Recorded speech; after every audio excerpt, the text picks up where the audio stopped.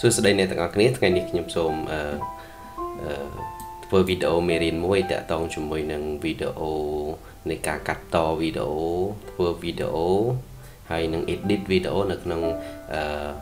Movie Maker Windows Movie Maker បាទអឺចឹងវិធីងាយៗក្នុងការដែលយើង edit វីដេអូរបស់យើងហើយដោយសារមានសំណុំពរពីមិត្តភ័ក្តិក៏គាត់ ចង់ឲ្យខ្ញុំបង្ហាញពីរបៀបនៃការកាត់តវីដេអូតាម Windows Movie Maker នេះដែរបាទអញ្ចឹងតាមដានទាំងអស់គ្នានេះគឺជាការដែលយើង upload យកវីដេអូពីក្នុង computer យើងណាយកមកចូលនៅក្នុងហ្នឹងយើងអាចរកទីតាំងដែលយើងបានដាក់នៅ YouTube រួច iPad YouTube iPad iPad photo អូខេនេះ ជាវីដេអូតាក់ទងជាមួយនឹងវិធីធ្វើម្ហូបថ្ងៃនេះថ្ងៃចុងសប្តាហ៍អញ្ចឹងខ្ញុំរៀបចំធ្វើវិធីធ្វើម្ហូបដែលងាយងាយហើយទៅផ្សារបាទអញ្ចឹងបន្ទាប់ពីយើង select all ហើយអីហើយយើង import វាចូលទៅក្នុង Excel ហើយចូល plan មកហើយរងចាំ file ហ្នឹងគឺរត់ដំណើរការរហូតដល់អស់6 file ដែលក្នុងនោះលោតតាំងពី file ជារូបភាពហើយនឹងជាវីដេអូអញ្ចឹងតាមលំដាប់លំដោយដែលខ្ញុំអឺបានស្រង់យកមាញ់មិញនេះតាមលំដាប់លំដោយរហូតមកអញ្ចឹងហើយចុច open មកនេះចុច add វីដេអូឬក៏ photo ឬក៏បើផ្ទៃនៃកម្មវិធីនឹងទំនេរគឺយើងអាចចុចលើផ្ទៃនឹងតែម្ដងដូចអំបញ្ញមិញបាទបន្ទាប់ពីអឺ upload ហើយគឺរងចាំចូលទៅក្នុង file នេះដំណើរការរហូតដល់ចប់100%គ្រប់ file ទាំង audio ទាំង video ទាំង audio ចូលទៅក្នុងកម្មវិធីនឹងសិនជួយរួចហើយចាប់ខ្ញុំបង្ហាញពីរបៀប edit ទៅលើ video edit ទៅលើអឺអឺសំឡេង import sound ណាអាចដាក់ជាអក្សរអាចដាក់ជាអីបាននៅក្នុងកម្មវិធីនេះ បាទហើយរបៀបកាត់តកាត់វីដេអូកាត់វីដេអូហើយយើងអាចធ្វើឲ្យសំឡេងវីដេអូនឹងកាន់តែលឿនឲ្យញាប់ហើយវាព្រោះតែចំណុចខ្លះយើងអត់ចង់បង្ហាញឯនេះហើយអញ្ចឹងយើងចង់ខាឲ្យលឿនហើយនេះអីហើយ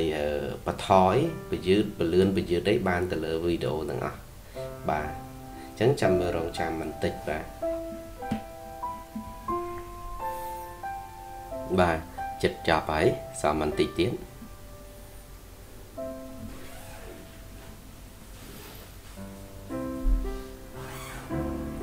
ហើយចិត្តផុតហើយចិត្តផុតហើយ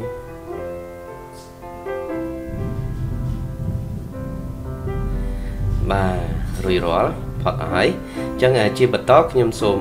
លើកយកទៅលើចំណុចនៃការរៀបចំទៅលើវីដេអូជាមួយនឹងរូបភាពអញ្ចឹងនេះគឺជាវីដេអូលក្ខណៈនៃវីដេអូ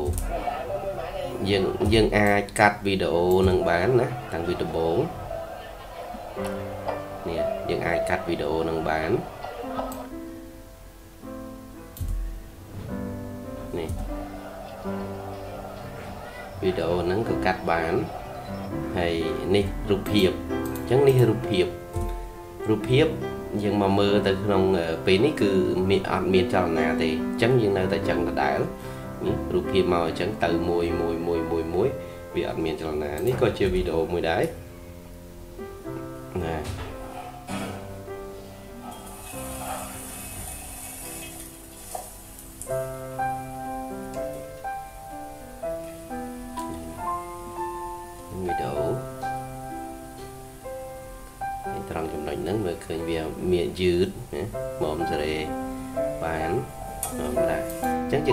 បានកន្លែងនេះសម្រាប់វីដេអូ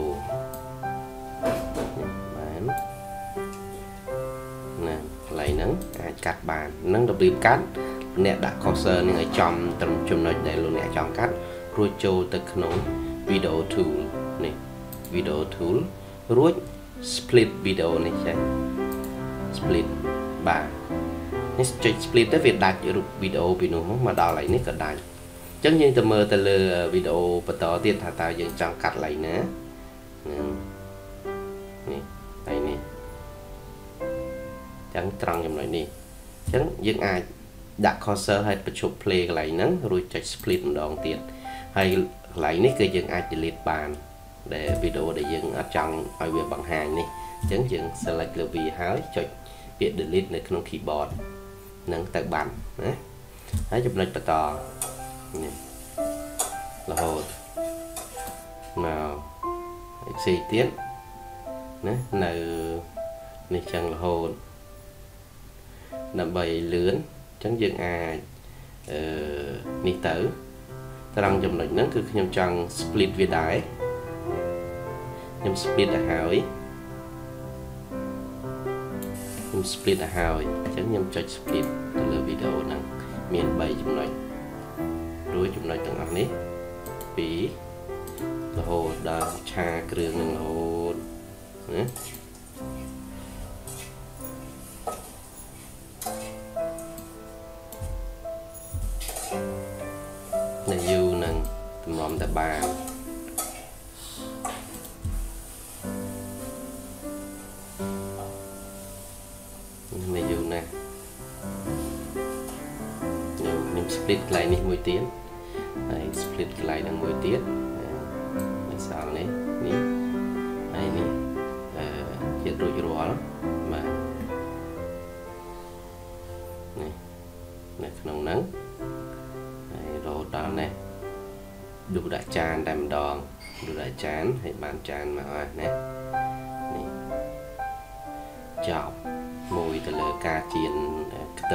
ការជៀនបង្គាការអឺលីងបង្គាលីងបង្គាតាមបែបនេះហ្នឹងហើយមួយទៀតគឺលីងជៀនត្រីម្ដងទីជៀនត្រីខ្ញុំសេវវីដេអូនេះអឺខ្ញុំចង់ធ្វើវីដេអូនេះជាពីវីដេអូវីដេអូទី1និយាយពីជៀនអឺលីងបង្គាវីដេអូទី2គឺអឺ ជៀនត្រីបាទធីជៀនត្រីធ្វើម៉េចឲ្យកុំឲ្យជាប់អញ្ចឹងនៅក្នុងហ្នឹងគឺខ្ញុំបង្ហាញអូខេខ្ញុំ save save ជាលក្ខណៈ file movie ហ្នឹងនៅក្នុងអញ្ចឹង save project ណា save project as ជា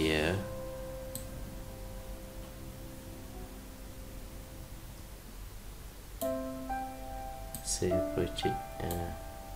ខ្ញុំដាក់នៅក្នុង ID ហើយ YouTube ហើយ iPad photo ថ្ងៃនេះថ្ងៃទី15ខែ10 2017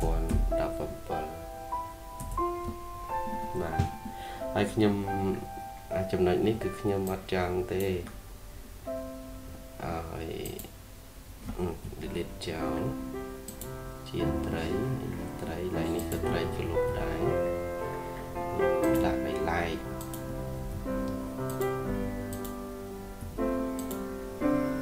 ចឹងអឺធ្វើតែវីដេអូនេះមួយអូខេចំណុចបន្ទាប់ដើម្បីធ្វើគឺខ្ញុំចង់កន្លែងទិញបាទកន្លែងទិញវីដេអូកន្លែងទិញបង ទិញកពឹសហ្នឹងបាទកពឹសហ្នឹងច្រឡំបកាកពឹសឆាលីងកពឹសកពឹសវាធំពេកខ្ញុំច្រឡំហៅបកាទៅបាទ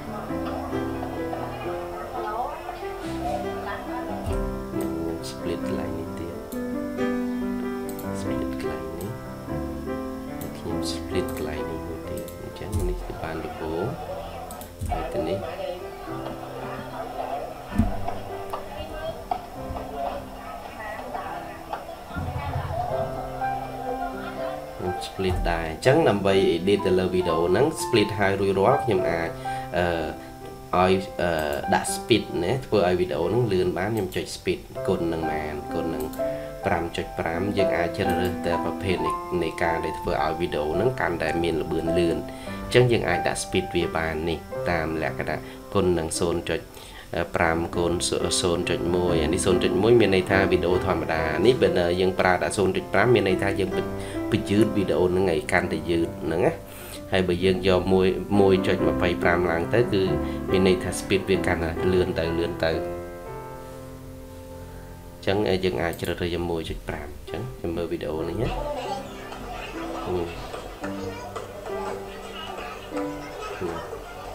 បាទ លឿនហើយហើយរួចវាមកធម្មតាវិញនេះមកធម្មតាវិញបាទរួចហើយវាដំណើរការធម្មតាមក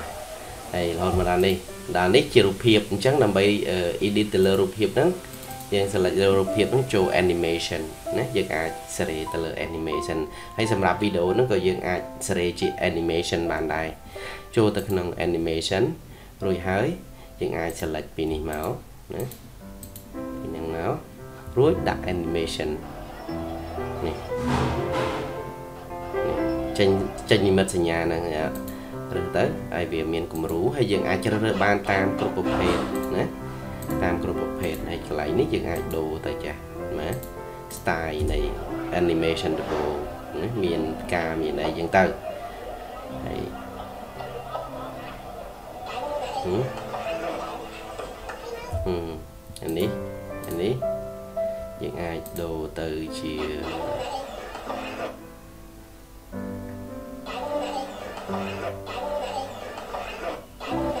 ណាយើងអាចសេរីបានតែត្រង់ចំណុចនេះនេះមើលកន្លែងតគ្នាត្រង់ចំណុចហ្នឹងលឿនបាទហ្នឹង អាចអាចនេះបានហើយកន្លែងនេះគឺដូចគ្នាយើងមានមាន animation ហ្នឹងយើងត្រូវប្រើ effect វាទៀតតែ pan and zoom យើងអាច zoom វីដេអូហ្នឹងឲ្យវាមានចលនាអញ្ចឹងធ្វើឲ្យវីដេអូរូបភាពហ្នឹងមានចលនាយើងអាចជ្រើសរើសតាមប្រភេទនេះនេះណាចុចលើច្រង់ចំណុចនេះវា pan ណារូបហ្នឹងវាបង្កើតឡើងលើនេះមកដល់នេះយើងអាចដាក់ animation transition នេះវាទៅ លើវីដេអូនេះមួយទៀត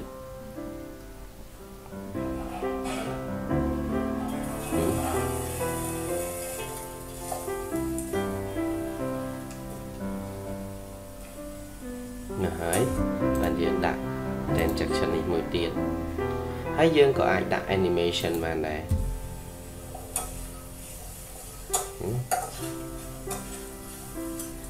injection ជាមួយ zoom and pan នេះនឹងទៅលើវីដេអូហ្នឹងអញ្ចឹងយើង link ហ្នឹងតាមលក្ខណៈ link ហ្នឹងយើងថា link ហើយប៉ុន្តែយើង link រហូតរយៈពេលនៃការធ្វើម្ហូបហ្នឹងវាយូរអញ្ចឹងយើងអាច speed up ទៅលើវីដេអូរបស់យើងឲ្យកាន់តែលឿនអញ្ចឹងចំណុចបន្ទាប់យើងអាច speed វានេះត្រង់ចំណុចនេះគឺយើងអាច speed រហូតទៅដល់ចុច select លើ tool video រួច speed ទៅ2ចុចហ្នឹង2គុណអញ្ចឹងទៅណាហើយ speed មកយ៉ាងមក នេះ speed រហូតមក speed រហូត speed តាមនឹងមករហូតដល់វីដេអូនឹងនេះនេះហើយបន្ទាប់មកមានចំណុចនេះទៀតបាទនេះមកយើងអាចទុកឲ្យមានលក្ខណៈវីដេអូធម្មតាខ្លះអីខ្លះមករួចហើយខ្ញុំមកថយសំឡេងនេះតិច ហើយមានលក្ខណៈវាធម្មតាខ្លះអញ្ចឹងយើងអាច split អាហ្នឹងដើម្បីដាក់ឲ្យវីដេអូហ្នឹងលក្ខណៈធម្មតានៃ speed របស់វាមួយធម្មតាហើយសល់ពីនោះគឺយើងអាច speed ឲ្យវាតាម75 175នេះមកណាយើងលឿនតិចចឹងវីដេអូវាវានេះមិនជានេះប្រហែលទេយើងចង់ឲ្យដាក់គ្រឿងយើងចង់ឲ្យធ្វើអីឲ្យវាលឿនអញ្ចឹងណា ហើយជាទូទៅវីដេអូដែលយើងត្រូវធ្វើទៅដាក់នៅក្នុង YouTube ហ្នឹងគឺរយៈពេលពី5 6នាទីហ្នឹងវាបបោពេកហើយវាជាទៅវីដេអូដែលលឿនណាណាហើយវាយូរអញ្ចឹងយើងអាចខ្លះគេតាម2 3 4 5នាទីអីទេបានសម្រាប់នេះខ្ញុំចង់ឲ្យធ្វើតាម6នាទីលើសពី5នាទីតិចទៅបានល្អវីដេអូរបស់យើងនេះនេះអញ្ចឹង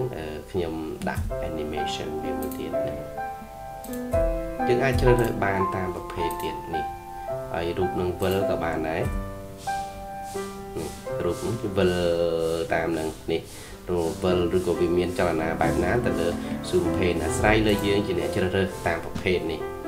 ប្រភេទហ្នឹងដែលយើងចង់បានតែមួយណាក៏បានដែរអាស្រ័យលើយើងទៅលើរូបភាពចុះឆ្នៃនេះចេញមកវាបង្ហាញពីរូបនិង review ឲ្យយើងមើលនេះនេះទៅនោះវិញ ទៅមួយវិលទៅស្ដាំមួយវិលទៅឆ្វេងអញ្ចឹងអាស្រ័យលើយើងថាយើងយកមួយណានេះខ្ញុំយកអាហ្នឹងមកហើយនេះវីដេអូបន្ទាប់គឺយើងអាចសេរី transaction transaction នឹងដដែល edit ហើយបាទហើយរួច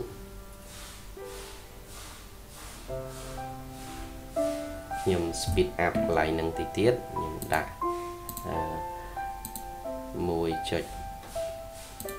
1កន្លះខ្ញុំ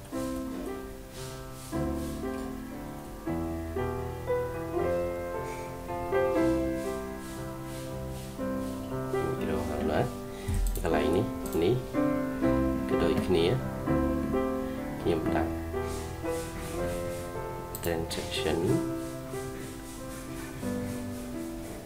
ដាក់នេះក៏បានមើលដូរទៀតមើលនេះដាក់នេះមកពីរហ្នឹងរួចដាក់កដែលហើយនេះមួយទៀត transaction នេះមកបាទ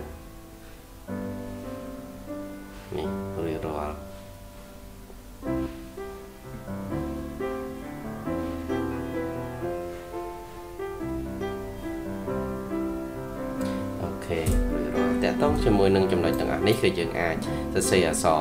ណាចូលទៅលើសរសេរអក្សរដាក់ title ដាក់អីទៅយើងអាចមាន title យើងអាចមាន caption ជាមួយនឹង credit អញ្ចឹងយើងអាច title វាយទូទៅយើងអាចដាក់បានងាយស្រួលប៉ុន្តែតកតងជាមួយនឹង title ខ្ញុំអត់សូវចូលចិត្តដាក់ទេខ្ញុំដាក់ទៅលើអក្សរបើ title ខ្ញុំយក caption ហ្នឹងដាក់តែម្ដងហើយនៅក្នុងនេះយើងចុចលើ caption ហ្នឹងហើយ ត្រង់ចំណុច caption ហើយយកម៉ៅមកដាក់ត្រង់ចំណុចហើយចុចរួចវានឹងបង្ហាញហើយយើងមក edit លើនេះលើផ្ទាំងវីដេអូចំណុចនេះល្អងាយស្រួលសម្រាប់យើងគឺយើងអាចដាក់អក្សរជា Unicode ក៏បាន យើងប្រើវាយជា Unicode ជាអីជាភាសាខ្មែរហើយអឺនេះមក select មកហើយចូលត្រង់ចំណុចភាសាខ្មែរ delete មកហើយវាយមក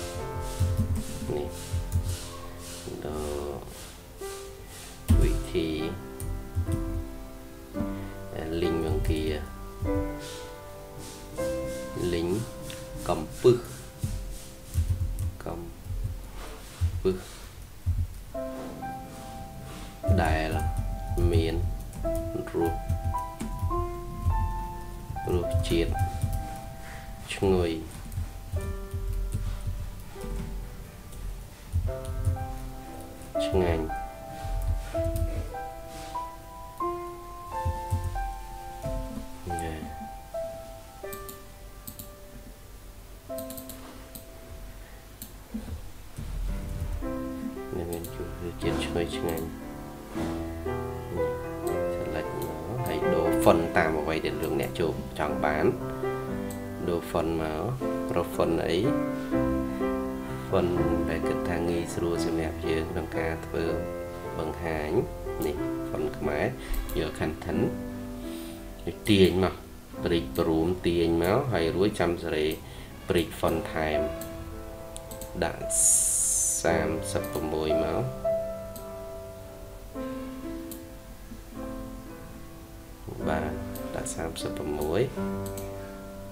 រួច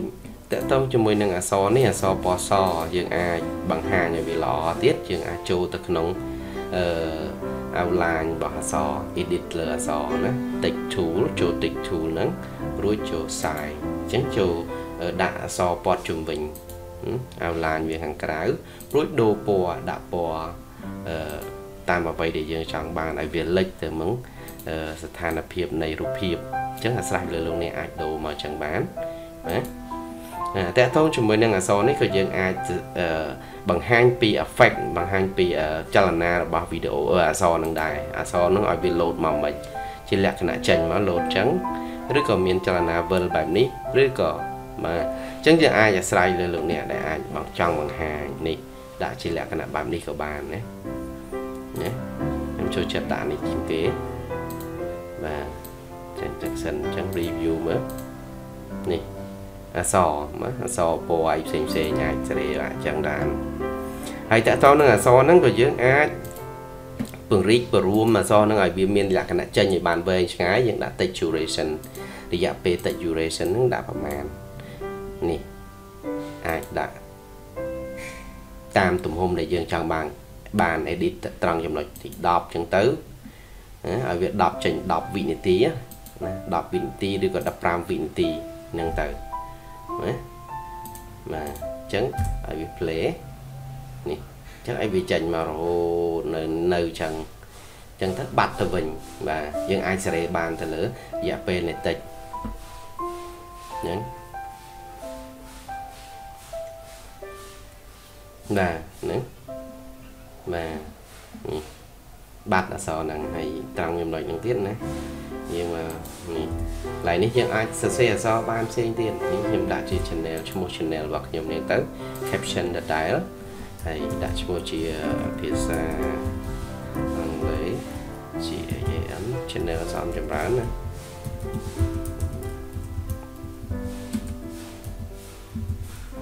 channel សំចម្រើនហ្នឹងទៅបាទអាច ព្រិច font ឲ្យធំបន្តិចដាក់28ទៅ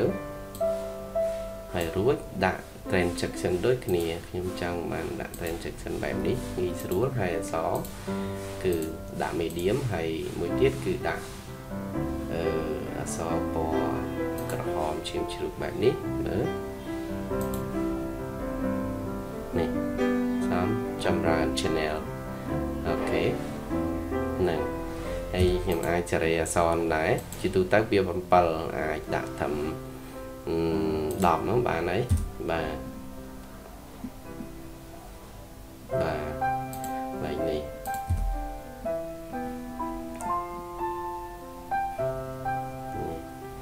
ហើយមកលោកអ្នកដាក់ copy អក្សរហ្នឹងមកទៀតមកក៏បានដែររក្សាអក្សរហ្នឹងដដែលបើអត់ចង់សរសេរអីទេលោកអ្នក ដាក់អក្សរហ្នឹងដដែលមក copy ផាសមកចុចលើអក្សរហ្នឹងហើយចុច control C ហើយរួចដាក់ cursor ត្រង់ចំណុចនេះចុច control V មកវានឹងចេញហើយដូចគ្នា channel នេះក៏ដូចគ្នា control C ហើយចុចមកទៀត control V បាទ control V control V បាទ control V control Z មកវិញវាឆ្លងហើយបាទហើយចុងក្រោយយើងអាចថាយើងអាចសរសេរអក្សរអីចុងក្រោយមកដាក់ caption ហើយឲ្យមានរយៈពេលដល់30វិនាទីអីចឹងទៅហើយដាក់អក្សរ នេះ select មកអូខេ sang for watching អញ្ចឹងទៅអរគុណចំពោះការទស្សនាហើយកុំភ្លេចឲ្យគេ subscribe ផងពេលដាក់នៅក្នុងវីដេអូហ្នឹងណា Thanks for watching ណាធ្វើមក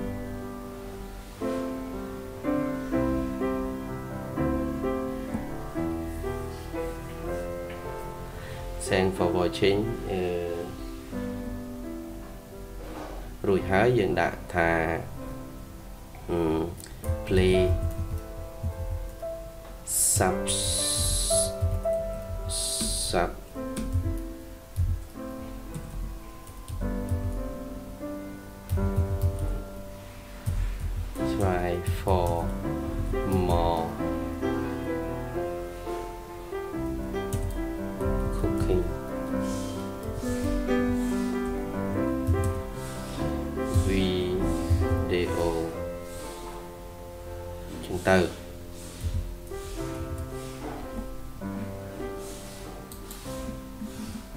ហើយដូរដូចគ្នាដាក់ជា medium មកហើយដាក់ពណ៌ដែលយើងចូលចិត្តមកដាក់ពណ៌នេះ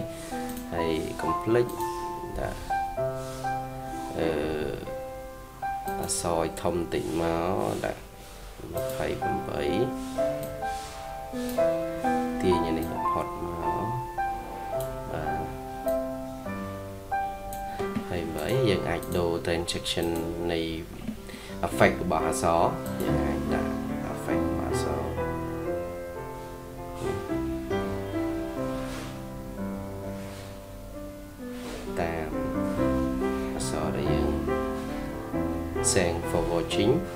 please subscribe for more cooking video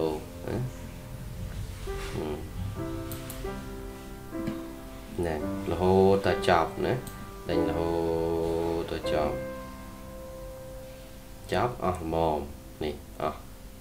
អស់ល្មមហើយបន្ទាប់ពីនោះមកលោកអ្នកអាចដាក់សំឡេងដាក់ sound sound free ណាហៅមើល sound នៅនេះអត់មាន copyright add music ចូល add music ចូល add ហើយចូលរក ភ្លេងបទចម្រៀងដែលគិតថាជា sound effect ដែរអត់មានអឺ dry scholar ចូល Google ចូល Google effect អូខេហើយ Ali នេះមកអស់ master ទីទៀតយកថែមវីដេអូ add music ទៀត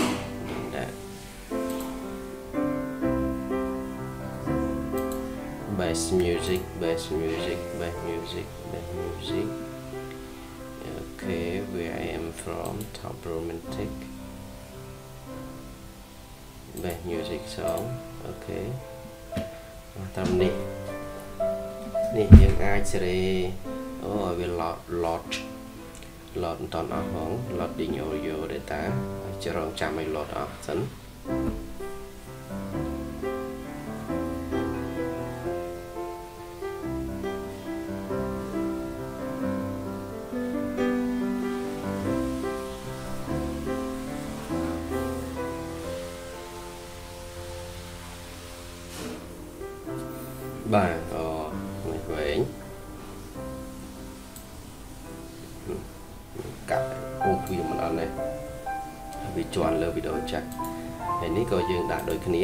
ត្រឹមចំណុចនេះយើងអាច edit បានត្រង់ចំណុចនេះ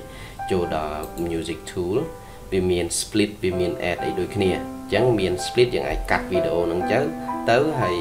ឲ្យវាមានហើយមួយទៀតឲ្យវា fade in fade out អញ្ចឹង fade in ពេលវាចូលមកឲ្យវាមានលក្ខណៈមួយ fade ឡើងសំឡេងចាប់ពីតិចរហូតដល់ខ្លាំងហើយ fade out ចាប់ពីខ្លាំងខ្សោយរហូតទៅដល់អស់អញ្ចឹងខ្ញុំដាក់អឺ fast យកវាប្រភេទទៅអង្គ fast មានណាន់មាន slow មាន medium មាន fast អញ្ចឹងយក fast មកឲ្យវារៀងលឿនបន្តិចបាទឲ្យវា fade ចាប់ចុះលឿនបន្តិចហើយមួយទៀត start ទៅលើ start time វីដេអូឲ្យវា start ពីពេលណាត្រង់ចំណុចណាមួយនាទីទីប្រហែលអញ្ចឹងទៅវិនាទីទីប្រហែលហើយបញ្ចប់ត្រង់ចំណុចណាអញ្ចឹងត្រង់ចំណុចហ្នឹងគឺយើងអាចដាក់ឲ្យ fade បាននេះដូច fade ណា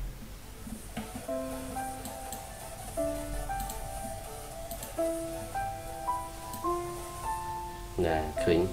fat លឿនជាងឃើញ fat អាហ្នឹង fat លឿនណាពេលមានន័យថាវាចាប់ផ្ដើមពីលឺរហូតទៅអឺខ្សោយទៅទៅតែម្ដងអាហ្នឹងគេហៅថា fat fast fat fast ហ្នឹងនេះនេះ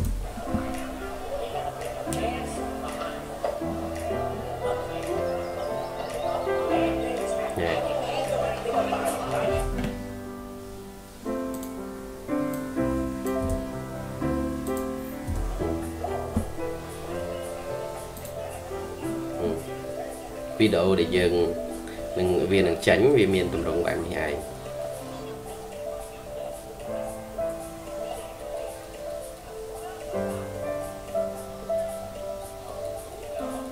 នេះចាញ់អសចាញ់ជាលក្ខណៈនៃ channel បាទ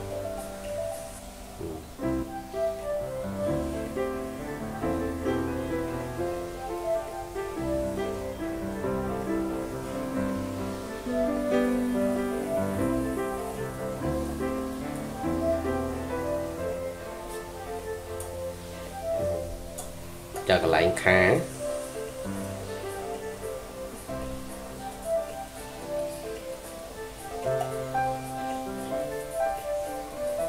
បាទប៉ុណ្ណឹងចាំមើលដល់កន្លែងលឿន speed up ឃើញកាន់តែលឿនបាទប៉ុណ្ណឹងជាការរួចរាល់ស្រាច់សម្រាប់ការ edit លើវីដេអូបន្ទាប់ពីនោះមកលោកអ្នកចូលទៅក្នុង save as save movie ចូល Save Movie ហើយវីដេអូដែលលោកអ្នកចង់ធ្វើជាប្រភេទ HD ឬក៏គ្រាន់តែជាលក្ខណៈសាមញ្ញធម្មតាឬក៏លោកអ្នកអាចប្រើជា Android phone ឬក៏ Android phone medium ណា Android phone នៃ feature ផ្សេងផ្សេងអាចធ្វើតាមវិធីសាស្ត្រហ្នឹងក៏បានអញ្ចឹងខ្ញុំចូលតែ HD ទេបាទ Windows 7 HD ចូល HD រួច save movie ដែលយើងបានធ្វើនៅក្នុងណាដាក់យើង YouTube ទី YouTube OK អឺ cooking cooking time បាទ cooking time OK បាទចុច save ជាការស្រេចរងចាំ movie ហ្នឹងគាត់ដំណើរការរហូតទៅដល់100%ពេញទើបអាចដំណើរការបានអញ្ចឹងត្រង់ចំណុចនេះខ្ញុំសូមមិនបង្ហាញទេដោយសារគាត់ថាវា